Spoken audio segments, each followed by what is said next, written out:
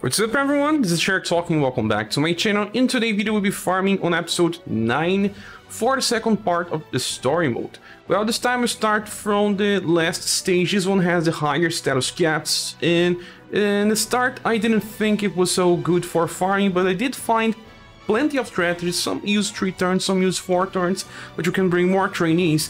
Talking about the stage, here we have uh, two waves with normal enemies, they are a little mixed. We can see it here. This is the Chimera. They can be instant killed, but not many characters can instant kill this Chimera.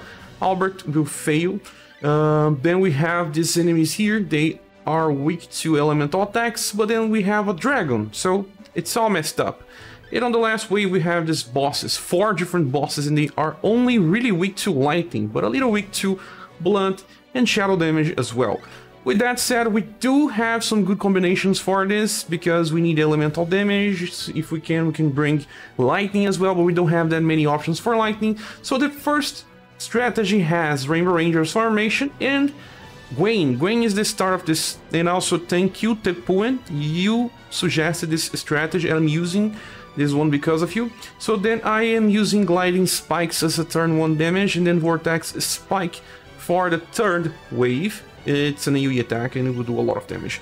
And then we have here on the top, Jo. Jo will be using her AoE attack only on turn 2 because of Sorbet Flambe helping more later. We don't want her to go with Urpina, our next character that's here on the STR position.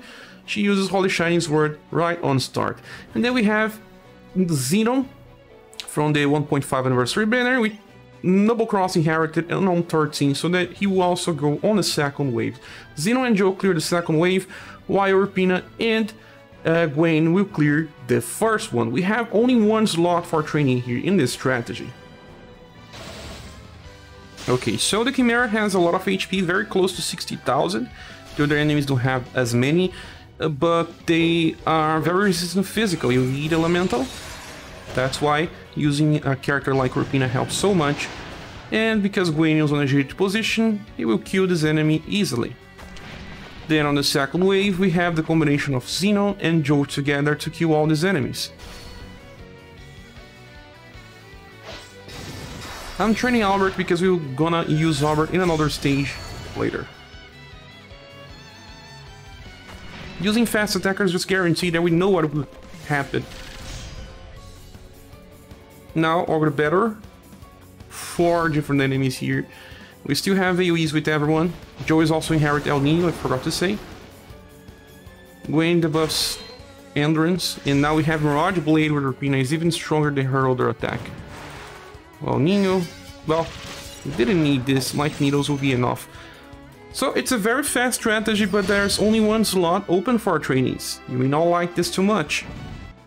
Well, the second strategy still uses Urpina. If you don't have Urpina, you can use Silver uh, with her fast AoE attack, but then you need extra help from the other slots. The good thing about the strategy and some of the other ones I'll show is that you can bring two trainees. As you can see, I have Emperor here, and he will be using Double Sun Slash. It's on 7 BP, so that he uses it twice, and then he uses Sun Flash on the last wave. Imperial Sword is on 14 because I don't want him to use that. Then I have Jo with her El Nino inherited. And you need 4 turns to finish, but this works. Well, well, again, Urpina is the one that will be killing the slimes, hitting for very good damage on Chimera as well. And then Emperor, you just have to use double Sun Slash. He's on a agility position, so he will always be here to kill this Chimera. The damage is pretty high as well, 38,000 it was. Now it's a little different. All we have is Sorbet Flambe and Emperor using the same attack. Urpina does not attack here. The good thing she has Mirage Blade Plus again for the boss fight. We'll have to use El Nino with Jo and then Sunflash with Emperor. As you can see, my trainees are not even equipped or anything, just so that you can understand that this can work without have investment on them.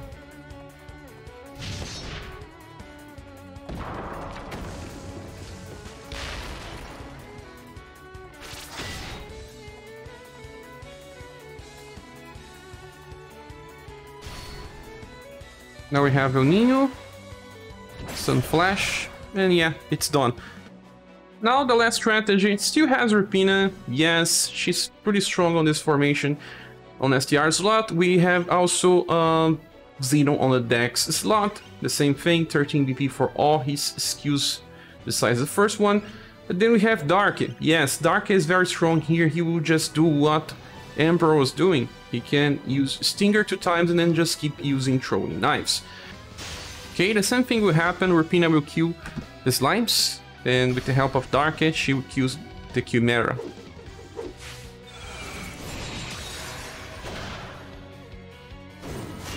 Chimera does not need to be instant killed. Remember, it has around 60,000 HP without 64. Now it's time for Zenon, again, using Noble Cross.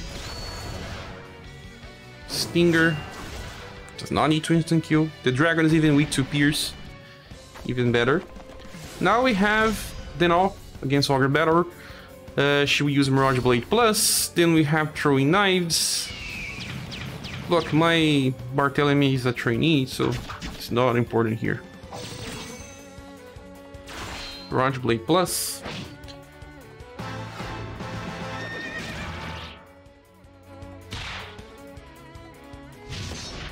We need four turns. There's no way to do this in three. Unless our trainees are very powerful.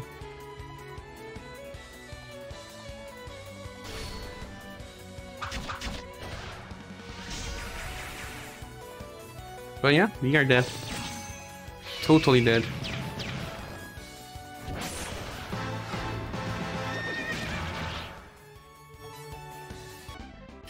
Okay, now with the stage number 925 you can farm a Great Sword. If you want to farm a Spear, well, you can run stage 923. It's not so hard. We have a strategy that also works with two trainees, that is Urpina, Jo, and Dorra. Dorra is super good here. And Urpina will just helps clear the first wave again. A fast attacker just makes things easier. We can rank two trainees on the dex and love position. And the skills are just the same. We just have to inherit or El Nino with Jo. And also increase Sorbet Flambe to 11. Uh, the enemies here are weak to sun damage, that's why Urpina works so well. While being fast attacker, she also hits for the weaknesses. Still not enough to kill them. You still have to use Thunder Blow.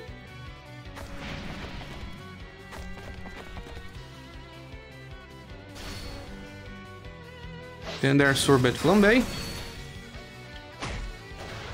And Sun Flash. Now on the third wave, we have the weakest attacks of all three. Sun Flash again, Fire Purification, and El Nino.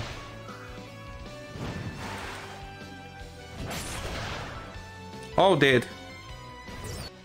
Well, and for those who don't have Urpina, we do have a different strategy. Use Amazon Rated X formation, bring the nearest Albert in the front, inherit Victor's Blade with 6 BP, Holler Rift with 15, place Final Emperor in the STR position, and Dorra too. With that, you have a setup that will work for all three waves. So having Albert in the front guarantees that he will always use Victor's Blade before anyone else. So that he has a cycle of 3 Victor's Blade in the cycle. Dorra can almost kill all enemies here, but it would depend on having the best setup, the best equipment, the highest status, so that's why I'm using this. Albert sometimes even kill that other enemy there. Emperor uses Imperial Sword, kind of overkill, but yes. Now, the last wave, we have Victor's Blade. We may need the help of one of our trainees, I'm not entirely sure, let's see what happens here. Yeah, especially since it reduced my full HP. No, it didn't need. Still. Stage we can farm is 921 because there is a martial arts weapon here. For those that missed some of the SS weapons, you can farm the Meteor Hammer. This stage uses the same strategy as the last one.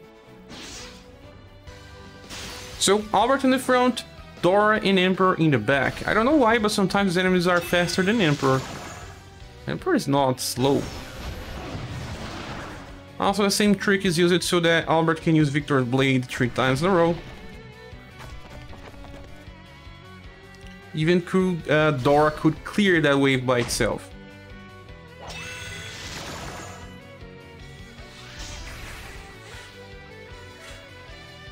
Heroes War Tears a little of an overkill as well.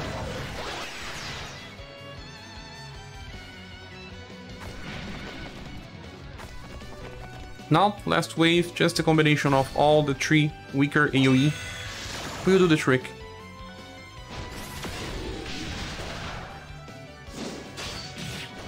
Even uses double sun slash.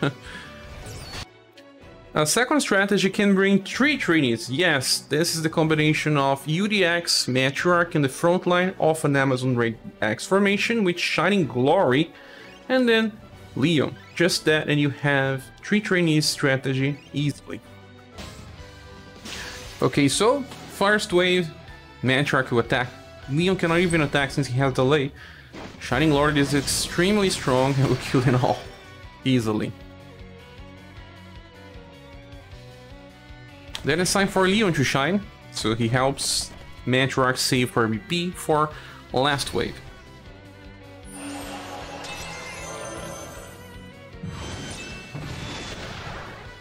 Another very strong attack, 63,000 on the second hit.